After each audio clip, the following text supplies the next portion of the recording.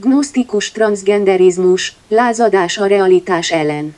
Igazán nem nehéz nem észrevenni, hogy egy észbontóan furcsa korszakban élünk akkor, amikor arról folynak komoly diskurzusok a közéletben, hogy valaki eldöntheti-e, vagy megválaszthatja-e a saját nemét függetlenül attól, hogy férfi vagy női testben jött a világra. Baj van-e a rendszerben, amikor arról kell vitázni, hogy mennyiben természetes dolog az emberek hím és nőnemre való felosztása és a gender csupán egy természetelenes korlát, amin felül lehet, sőt, erény felül kerekedni. Folyamatosan azt hallhatjuk, hogy egy hatalmas korszakváltás előtt állunk, s az emberiségnek meg kell haladnia eddigi önmagát, de különösen meg kell haladnia az elavult bibliai értékrendet. Legfőbbképpen annak a szexualitásra vonatkozó korlátait és előítéleteit. Amivel a legtöbb magát kereszténynek való ember nincs tisztában, az az, hogy ez a jelenség korán sem új keletű dolog, korunk bizarr gender ideológiája ugyanis a korai gnoszticizmus felfogásában gyökerezik. Így nem csak spontán szexuális devianciákkal, hanem egy komplex ideológiával, világnézetel és valási meggyőződéssel állunk szemben. A korai egyház hirtelen találta magát szemben az általuk sátáninak nevezett és rendkívül agresszíven terjedő gnoszticizmus kihívásával. Ha a kereszténység tűzként terjedt el a korabeli pogányvilágban, akkor a gnoszticizmus futótűzként terjedt el a növekvő számú kereszténység köreiben. A kereszténységbe beférkőző gnoszticizmus szülte meg részint az extrém degenerált szexuális szabadoságot, részint pedig az aszketizmust, monastizmust, a szerzetesi életforma felvételét, a cölibátust, s egy sor, hasonló. A tökéletesedést elősegítő disziplinát, önfegyelmező gyakorlatot. Ennek részét képezte az a gender elmélet, amelyeket a modern New Age luciferiánus neognosztikusai némileg korunkhoz igazodva tálalnak fel egyre agresszívebb módon. Az igaz egyház számára a kihívás tehát ma is legalább olyan mértékű, ha nem nagyobb, mint amivel a korai egyháznak kellett szembenéznie. A genderelmélet a gnoszticizmusban gyökerezik.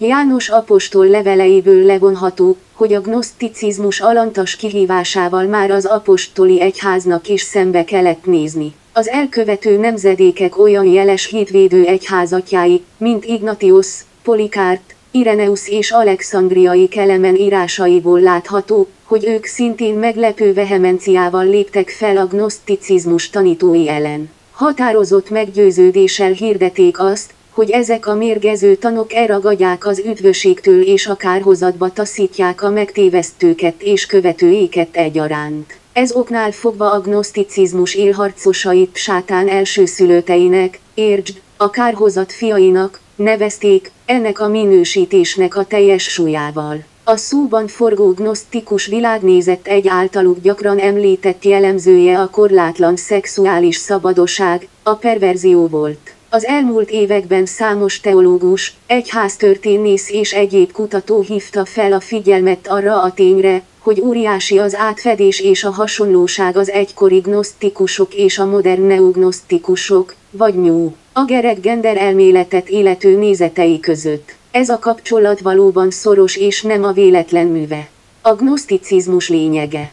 Az I és negyedik század közötti gnoszticizmus az ősi életfa misztériumok, a neoplatonista filozófia, valamint a judaizmus és a kereszténység tanainak furra kagyvaléka volt. A szerteágazó filozófia alapjait a sötét és romlott fizikai világ, illetve a letisztult spiritualitás világoságnak a dualitása képezte. A gnosztikus iskolák szerint a világot egy gonosz demiurgosz alkotta meg és az embert szándékosan tette férfivé és nővé, ezáltal is korlátozva őket, nehogy kibontakozhassanak a teljeség felé. A gnosztikusok a dualitás szűrőjén tekintetek az emberi szexualitásra is. Ez szerint a szexualitás a romlott anyagi világ része, a nemiség pedig egy lehúzó csapda, amit meg lehet, sőt, meg kell haladni. A természeténél fogva tökéletlen emberi test nem a szellemi realitást tükrözi, mert alantas és eként kell kezelnünk. A testiség és nemiség olyan hiba, amit korrigálhatunk a benső és valós énünk, vagy identitásunk tisztasága által. A gnosztikusok hite szerint a teljes szabadsághoz a gnózis, vagyis a titkos, ezoterikus tudások vezetnek. A megfelelő tudás által az ember képes kiemelkedni a romlott fizikai létből, lehetősége van korrigálni a természet hibáit és felemelni magát a tökéletes spiritualitás állapotába. Annak érdekében, hogy létrejöhessen az egységes új teremtés, ahol már nincsenek nemek sem, ahhoz a titkos tudások és disciplinák birtokában meg kell tanulnunk vagy levetkőzni a nemiséget, vagy pedig a rendszerrel kibabrálva. Éppen az ellenkező nemmel kell azonosítani magunkat. Egy csecsemő ártatlanul születik meg, és nincs tisztában a nemiségével, és az ideál az, hogy visszatérjünk ehhez a bennünk rejlő ártatlansági állapothoz, pontosabban érjük el azt azáltal, hogy az emberiséget egyneművé, illetve nemtelenné tesszük. Ezt kétféleképpen lehet megvalósítani, a teljes és tudatosan megvalósított szexuális szabadosággal, vagy pedig a teljes önmegtartóztatás által, ami esetben az egyén örökre szólóan feladja a szexualitás élvezetét. Az egyházatják leírásaiból tudjuk, hogy a korai keresztények közé mindkét nézet terjesztői, a teljes szabadoság hívei valamint a házasságot és szexuális életet megtagadó aszketizmus hirdetői is beférkőztek. A titkos gnózis birtokosai a megszerzett ismereteik alapján értelmezik, át, mindenek a valóságát, beleértve önön maguk természet adta testi adottságait is. A beavatottak rátalálnak önmaguk igazi belső lényére, a valós valóságra és azonosulnak azzal, mert teljesen függetlenítették magukat a romlott természet adta külsőséges testiségtől, így a korlátozó nemiségtől is. Röviden, a gnózis által az ember felszabadíthatja magát a fizikai világ hamis benyomásaitól és létrehozhatja önmaga realitását, és az a valós valóság, nem pedig a természet adottságai és törvényei ezek megtévesztő illúziók csupán. Minél inkább lázadsz a természet törvényei ellen, annál szabadabbá, felvilágosultabbá és tökéletesebbé válsz. És mi lehet aberáltabb lázadás annál, a természet rendjének szempontjából, mint amikor egy férfi nőnek, vagy transzneműnek, egy nő pedig férfinek vallja magát? A világban zajló nyilvánvaló természeteleneségnek így nem spontán esendőségből és beteges kévágyból fakadó okai vannak, mint inkább spirituális okai. Ezen nézet hívei azonban a bűnt már eltökélten, szánt szándékos akarattal és megáltalkodott makacssággal szolgálják. A rokonelvű kabalizmusban ugyanezt a folyamatot a bűnön keresztüli megváltásként hirdetik. A jelen neugnosztikusai a koraiakat meghaladva egyre csak szélesítik a természetelenes nemiség skáláját, így manapság már 71 néhány szexuális identitást tartanak számon, a homoszexualitástól a transvestizmuson át a pánszexualizmusig. A pedofiliáról nem is beszélve. A keresztény hit alapja az Istenhez való megtérés, törvényeinek elfogadása, a bűn következetes eltávolítása az életünkből. Ezt a folyamatot a Szentírás megszentelődésnek nevezi, s mindazok, akik üdvöséget kívánnak, azoknak végig kell menni a folyamaton. 1 Korintus 6, 9-11-9 vagy nem tudjátok, hogy igazságtalanok Isten királyságát nem fogják örökölni, ne tévejegjetek. Sem paráznák, sem válványimádók, sem puják, magukat elnőiesítő férfiak, sem férfi fertőzők, homoszexuálisok, Tíz sem tolvajok, sem kapzsík, sem iszákosok, sem szítkozódók, sem ragadozók Isten királyságát örökölni nem fogják tizenegy ezek voltatok néhányan, de lemosakotatok, de megszentelőtetek, de megigazultatok a Krisztus Úrnak neve és Istenünknek szeleme által. Pál ezt a korinthusi egyháznak írta, rámutatva arra, hogy voltak közöttük, férfiak akik korábban nőként éltek, gendert változtatók, nettán transvestiták, mások pedig a homoszexualitás bűnében éltek. De hátat fordítottak ezeknek a természetelenes bűnöknek, megmosták magukat Krisztus vérében, a megigazulás útjára tértek és Isten szellemének vezetésében haladnak az üdvöség felé. Etéren a homoszexualitás és egyéb nemi bűnök ugyanolyan, de nem súlyosabb bűnök, mint a törvény más főbb, halálos ítéletet magával vonó pontjainak a megszegése. Ezektől a megtérés által kegyelemben részesülve meg lehet tisztulni. Ez az igaz és tiszta keresztény hozzáállás ma is. Pál a rómaiakhoz írt levélben viszont már a szándékos természetelleneség kontextusában foglalkozik a homoszexualitással és más hasonló nemi bűnökkel. Itt már a filozófiákhoz kötődő, az igazságot szándékosan elferdítő, a természet rendjét makacs akaratossággal ferugó emberekről ír, akik így ebben a minősítésben kerülnek ítélet alá. Noha Pál az alábbiakat az ókori gnosztikusokkal kapcsolatban írta le, nem lehet nem felismerni, hogy korunkban ez egy még inkább jellemző jelenség.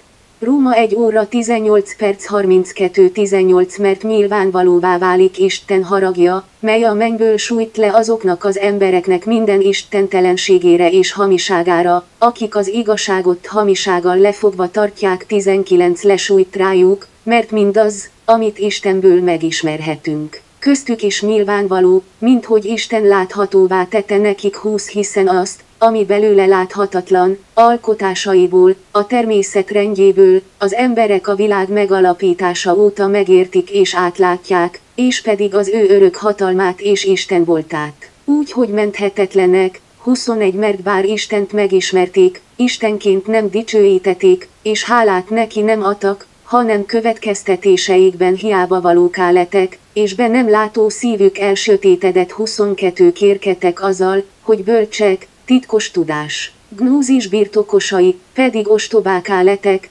23 mikor a romolhatatlan Isten dicsőségét romlandó embernek, madaraknak. Négy lábúaknak és csúszómászóknak hasomásával cserélték fel 24 ezért az Isten szívük kívánságainak következményeként kívánságaikban tisztátalanságra adta oda őket hogy testüket egymás között megbecstelenítsék 25 hiszen ők maguk cserélték fel az Isten igazságát hazugsággal. Ők maguk félték és szolgálták a teremtményt, tették félre a teremtőt, aki áldott az örök korokig. Ámen 26 ezért adta azután az Isten oda őket becstelen szenvedélyekre, nőik a természetes életmódot természetelenesre cserélték fel, 27 hasonlóképpen a férfiak is elhagyták a nővel való természetes élést és indulatuktól hajtva. Egymás iránt gyulladtak lángra, férfiak férfiakon követek el torz dolgokat és önmagukban kapták meg azt a bért, mely tévedésükért kiárt nekik 28-es mint ahogy ők Istent kipróbálták s elveteték, nem méltatva arra, hogy ismeretükben megőrizik. Annak megfelelően Isten is olyan életfelfogásnak dobta őket oda, mely majd az ítéletkor nem állja ki a próbát. Hogy azt tegyék, ami ocsmány,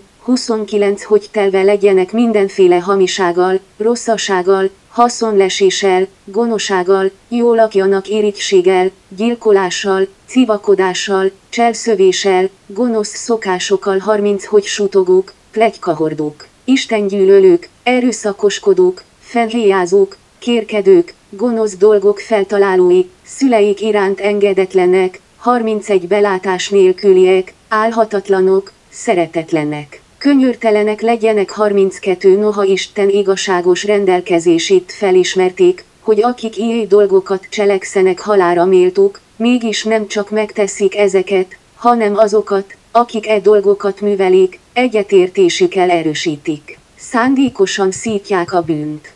A gonosz dolgok kiagyalói egy isten és természetelenes rend felállításán dolgoznak. A biológiai nemiség felszámolása, illetve teljes átformálása nem az egyedüli módja annak, hogy a múltat végképp eltöröljék, a célkeresztben ott van minden Isten által megalkotott intézmény és erény. A család, a nemzet, az Isten egyháza, a bibliai erkölcs, de még a józan lelkiismeret is. Az ideológia mozgatói egybeavatott, neognosztikus spirituális elit, egy sötét hatalom, aminek szándékában egy luciferiánus New Age megvalósítása áll egy háttérhatalmi idea és agenda kivitelezői. A veszélyeit nem lehet eltúlozni, hiszen a modern transgenderizmus élharcosai nem csupán aberált szexuális életmódot folytató vétkesek, akik csupán a buja elemi vágyaikat kívánják kielégíteni. Nem, ők végső soron egy romboló, kárhozatba taszító szellemiség tudatos képviseletével kívánják lecserélni az isteni rendet egy luciferi világrendre. Először egyenlőséget, testvériséget hirdetnek, majd előjogokat követelnek az aberáltaknak, végül pedig intoleráns valási bigotaként üldözik a normalitás képviselőit. Ők nem csak művelik, de kötelező normává kívánják tenni az aberrációt. Ezen oknál fogva adta őket Isten át saját őrületüknek, hogy ítélet alá esenek. Amíg az aberált vágyaktól vezetett homoszexuális, leszbikus, vagy egyéb a normálistól eltérő szexuális beállítottságú ember megtérhet, az az ember, aki már egy transzcendens önistenítő lét elnyerésének érdekében azonosul ezen Isten és természetelenes ideológiával és víz bele másokat, az már ténylegesen a sátán elsőszülöte, a kárhozat gyermeke, aki eként részesül örök ítéletben. Amint azt mag sátán is rendkívül leleményesen tette Jahósua megkísértésekor, úgy a is mesterei a Szentírás kiforgatásának. Így van ez a genderelmélet propagálásában is, amit Krisztus kijelentéseinek elferdítésével visznek véghez. Máté 22 óra 30 perc amper feltámadás után nem nősülnek, férjhez sem menek, hanem úgy élnek, mint Isten angyalai a mennyben.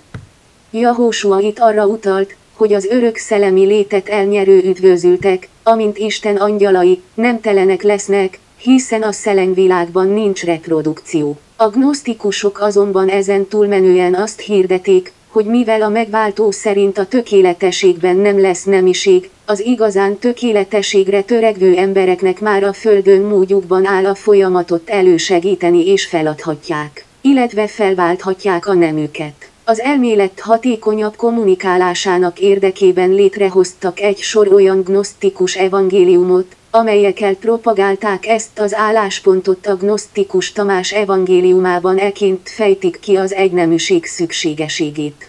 Tamás evangéliuma 22 Jézus kisgyerekeket látott, akik szoptak. Azt mondta tanítványainak, ezek a kicsinyek, akik szopnak, azokhoz hasonlatosak, akik bemenek a királyságba. Mondták neki, ha mi kicsinyek vagyunk, be fogunk menni a királyságba. Jézus mondta nekik, ha a kettőt egyé teszitek, és ha a belsőt, olyaná, teszitek, mint a külső, és a külsőt, mint a belső, és a fölsőt, mint az alsó, és hogy a férfit és a nőit ez egyes egyetlenné fogjátok tenni, hogy a férfi ne legyen férfi, sem a nő nő, ha szemeket szem helyébe teszitek, és ha kezet kész helyébe, és lábat lát helyébe, és képet kép helyébe, akkor fogtok bemenni a királyságba.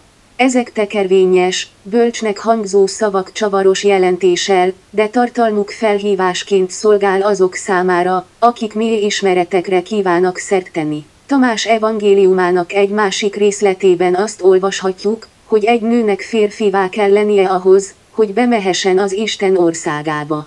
Tamás evangéliuma 114 Simon Péter mondta nekik, bár csak távozna Mária, Magdaléna, közülünk, mert az asszonyok nem méltóak az életre. Jézus mondta, íme, magam vezetem őt arra, hogy férfiúvá legyen, hogy ő is élő szellemé legyen, amely hozzátok, férfiakhoz hasonlít. Mert minden asszony, aki férfiúvá lesz, be fog menni a mennyek királyságába. Nos, kétségtelen, hogy bizonyos értelemben még elfogadhatóak is lehetnének a fenti leírások, ám annyira ketős értelműek, annyira agnosztikus agyafurcság jegyeit viselik, hogy a szándék nyilvánvaló. Az ugyancsak gnosztikus Fülöp evangéliumában már egyenesen arról látunk értekezést, hogy ha az ember megmarad volna egyneműnek, tökéletes marad volna, nem jött volna el rá a halál és a Krisztus eljövetele megváltotta az embert a nemiségtől, visszahelyezve őt a nemtelenségbe. Fülöp evangéliuma, ha a nő nem lett volna elválasztva a férfitől, akkor a férfi és a nő nem lenne halandó. A férfi és női, nem, elválasztása volt a halál kezdete. A Krisztus azért jött el, hogy orvosolja azt az elkülönülést, ami a kezdetől jelen volt, és hogy újra egybe kapcsolja a kettőt a célból, hogy az egyéválás által életet adjon azoknak, akik az elkülönülés okánál fogva haltak meg. A nő egyesül a férjével a nászobában, s akik pedig közösülnek a nászobában, nem különülnek el többé. Ez oknál fogva különült el Éva Ádámtól, mert nem váltak egyé a nászobában, http, 2. pont, per per, gnosis, org per nakham m per g filip kötőjel meyer, html. Az egyéválás itt a kívánatos nemtelenségre állapotára utal. Az egyiptomiak evangéliuma március 13.92. amikor Salomé afelől érdeklődött, hogy mikor nyilvánul meg a válasz a kérdésére, az úr ezt mondta neki, amikor eltaposod a szégyen ruházatát, s amikor a kettő egyé lesz, és a férfi és a nő nem lesz többé férfi és nő, http, 2. pont, per per, www.earichristianbritings.com per text per gospelegytians.html A szégyen ruházata a romlott emberi test, s a beteljesedés az egyneműséget hozza magával. Fülöp gnosztikus evangéliuma szerint Jahósua öt szakramentumot vetett le, a vízbe való bemerítkezést, a Krisztusi út követését, az oltár szentséget, a megváltást és a szent nászobát. Azt nehéz megállapítani, hogy a nyilvánvalóan allegorikus nászoba mit is jelentett pontosan, de összehasonlítva a hasonló iskolák tanításaival, ezzel minden bizonyal az ember felemelkedésére misztikus a szellemi világgal való egyesülésére utaltak. Maga a Fülöp evangéliumának szerzője tesz utalást arra, hogy aki a Szent Nászobában egyesül, az legyőzte a halált. A gnosztikus írásokban gyakran utalnak Jahósuára úgy, hogy nőként jeleníti meg magát. A János nevével fémjelzett gnosztikus apokrívban, annak hamadi könyvtárból, ez áll. Ez az első gondolat, az ő képmása, ő, nőnemben, lett a mindenség anyaméhe, mert ő az, aki mindenek előtt van, az anya atya, az első ember, a szent szelem, a háromszoros férfi, a háromszorosan hatalmas, a háromszor elnevezett andrognós, kétnemű, és az örök a láthatatlanok közül, és az első, aki eljött. Az egyházatják leírásaiból tudjuk, hogy az egyházba is beépült gnoszticizmus nagy tanítói, elképesztő szexuális szabadoságot hirdettek. Ezt azonban nem a spontán szexuális perverzió, az élvezetek hajszolása vezete, hanem egy torsz spirituális meggyőződés, mi szerint az üdvöség vagy teljeség előfeltétele a nemiség felszámolása, vagy bármilyen formájú durva megrontása. A neognosztikus nyuage és korunk identitázválsága. A a felszínen nem tűnik ártalmasnak, az átlagember általában a tudásvágyal, a titkos, ezoterikus ismeretek elsajátításával asszociálja, mintsem egy gonosz luciferi rendszerel. Pedig a egy forradalmi eszme, lázadás a valóság ellen. Az tény, hogy ez az eszme messze régebbi keletű, mint a kereszténység, mi több, megelőzi a törvény átadását, illetve az Izrael megkötött szövetséget is, hiszen eredete az édeni jó és rossz tudásának fájához, az ember bukását okozó, megtévesztő kígyóhoz vezethető vissza. Már hipoitus, időszámításunk szerint 170-235, és felsorol jó néhány olyan gnosztikus iskolát, amelyek korábbiak voltak a Simon mágus által megalapított irányzatnál, s így értelemszerűen korábbiak voltak az apostoli egyháznál is. Isten a sátáni misztériumok által átitatott földön tervszerűen és fokozatokban viszi véghez az országlásának a helyreállítását. Kezdte ezt Ábrahám elhívásával, folytatta a fizikai Izraelel és a törvényel, majd pedig egy szellemi népel, az egyházzal.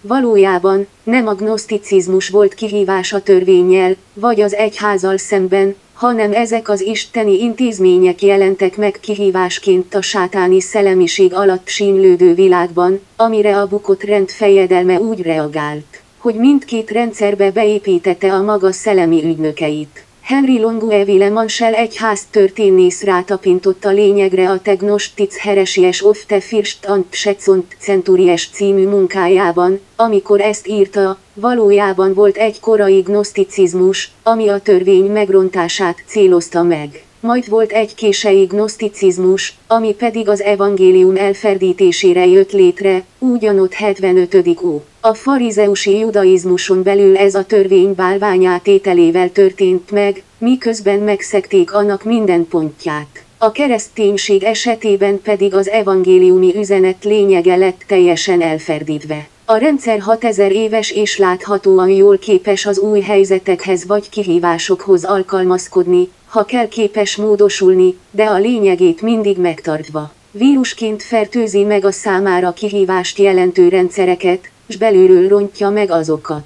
Amint arra rámutatunk, Számos kutató fedez fel nem csak hasonlóságot, de közvetlen kapcsolatot az ókori gnoszticizmus és a modern liberális gender elméletek között. Osztoznak abban a nézetben, hogy a természet tökéletlen, nagy hibákat követ el és gyakran nem megfelelően párosítja a test nemiségét az egyén benső identitásával. Amennyiben az esendő természet így kibagrál velünk, akkor a személy benső identitása, vagy valósága a mérvadó iránymutató, ami felülírja a természet bakilját. Az ukoriak még inkább csak filozófiai okfejtésekkel propagálták a gender elméletet és a szexuális szabadoságot, noha már ők is hírhetek voltak a szexuális kicsapongásaikról. Ez már a emberi jogi kérdési és gender háborúvá kerekedett. A történelem folyamán a legtöbb ember elfogadta az adottságokat, a nemét, rasszát, nemzeti hovatartozását, legfeljebb titokban élte ki a normálistól eltérő vágyait. Ebben a kérdésben még a névleges kereszténység is korlátokat vont. Ma más a helyzet, a Szentírás rámutat arra, hogy a korszak végének közeléhez érve retenetesé válik az emberi természet. 1 Timóteus 4, 1-2-1 Amper szellem világosan megmondja, hogy a végső időkben némelyek elpártolnak a hitől, megtévesztő szellemekre és ördögi tanításra hallgatnak kettő ezek képmutató hazudozók. Akiknek megvan a lelki ismeretük bélyegezve három tiltják a házasságkötést és bizonyos ételek fogyasztását, jó lehet ezeket azért teremtette az Isten, hogy a hívő és igazságot ismerő ember hálaadással fogyassza. Az Isten szelleme itt jelen korunk emberét minősíti, rámutatva, hogy ördögi tanítások, megtévesztő szellemek okozák ezt a szellemi elkorcsosulást. Sátának megvannak a beavatott emberi eszközei, akik átadják ezeket a luciferi mély titkokat, vesd össze. Jel 2 óra 24 perc, a téveigüknek. Ahogy voltak egykoron, úgy vannak új gnosztikusok, akik elvégzik ezt a feladatot. A kor végére a luciferiánusok már egy rendkívül nagy politikai erővel bíró hátérerőt, vagy hatalmi szerveződést képeznek, ami ütközni fog az igazság képviselőjével. A jelenések hét gyülekezetéhez írt levél korunk emberéhez szól leginkább, az ott felsorolt kihívások a végidők híveit érintik leginkább. A természet rendje. János apostol tömören összegzi a gnoszticizmus romboló lényegét, hirdetői hamis proféták, 1 ilyen 4, 1, megtévesztők, 2 ilyen, 1, 7, és antikrisztusok, 2 óra 18 perc 22, 4, 3. Sokuk beékelődött az egyházba, majd hitet tagadva elhagyták azt, és visszatértek a világba, egy ilyen négy, egy, s ez bizonyítéka annak, hogy sosem voltak az igazságban, 2 ilyen 2 óra 19 perc. Pál pedig a már idézett Róma levél első fejezetében rámutat, hogy Isten a természet által is nyilvánvalóvá tett egy rendet, amit bizonyos emberek a saját bölcsességükkel felülírva megtagadnak és egy hazugsággal. Egy alternatív realitással cserélték fel az Isten igazságait. Az egyházatják további rálátást nyújtottak a tanításaira a természet rendjéhez való viszonyukra. Hogy pontosan mi is az a titkos tudásból fakadó alternatív igazság, ami a bibliai hit szerint, de még a látható természet által is bizonyítottan hazugság, Röviden, az az édeni kígyó, a sátán által kidolgozott eszmeiség és agenda, amivel felkívánja bontani az isteni rendet, hogy azt a maga felvilágosult világrendjével váltsa le. A titkos tanok felvilágosítják, és rendszerbe foglalva megtanítják az embert arra, hogyan válhat Istené. A teremtőt egy gonosz demiurgosznak nyilvánították, aki rosszul alkotta meg a világot és annak rendjét, aminek helyébe a beavatottak egy új világrendet hoznak el.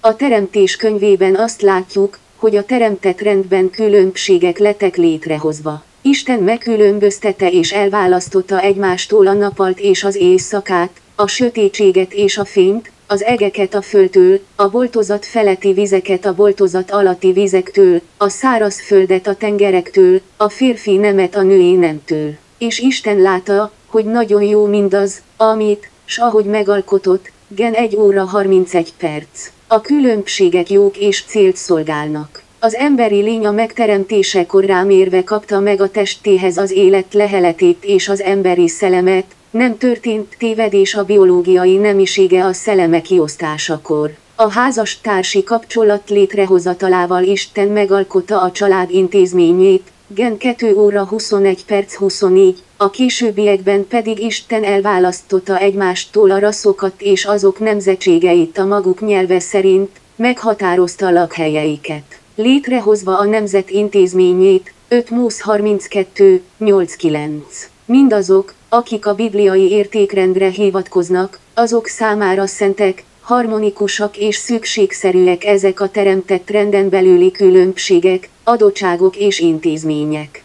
Az édeni kígyó tanításait és az általa propagált életmódot követők, legyenek azok gnosztikusok, kabalisták, szabadkőművesek, illuminátusok, vagy az ilyen-olyan izmusok követői, mind egy azon szellemi forrásból, Lucifertől. Merítették a felvilágosult ideáikat. Világ megváltó eszközeik is azonosak. Az adott kor mércéjéhez mérten, de a határokat egyre inkább kitolva nyilvánítják rossznak az Isten által jónak teremtett dolgokat vagy az által létrehozott intézményeket, és jónak, követendőnek mindent, amit az isteni törvényzet megtilt. Korunkban ez a harc az utolsó stádiumában van, s így a bibliai értékrend minden eddiginél hevesebb támadás alatt áll a mai neognosztikusok a New égisze alatt. A szélsőséges liberalizmus által és jól beágyazott politikai fedezék mögül végzik ezt az aknamunkát. Az osztályharc, a női egyenjogúság, a feminizmus, a polgár és szabadságjogok, a nemiség szabad megválasztása, a gender elmélet, mind ennek az eredménye. Az osztályharcot még katonai frontokon vívták, az áll egyenjogúsági és polgári jogi harcok a társadalmi fronton folytak le, szétzilálva táborokra osztva azt.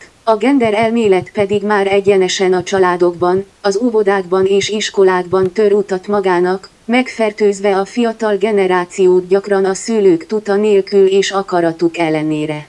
A manapság már leginkább csak a szabadsággal asszociált frigiai vörös sapka egykoron a frig özgnosztikusok, és a mitrász misztérium kultuszok viselete volt, ami a beavatottságot szimbolizálta. A filozófiai irányzatnak köszönhetően később az áldozatadás, a szabadság, a forradalom, a felvilágosodás és testvériség ikonikus jelképévé vált. Köztudott, hogy a jakobinusok előszeretettel viselték, akik pedig egy irányított forradalom álmokfutása alatt a szabadság, egyenlőség és testvériség magasztos jelszava alatt mészároltak le milliókat.